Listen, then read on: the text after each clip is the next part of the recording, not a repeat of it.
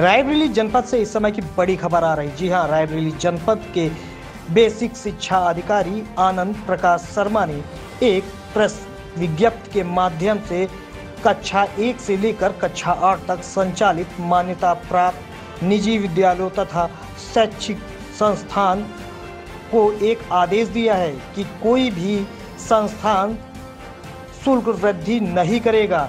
पिछले वर्ष की भात शुल्क लिया जाएगा।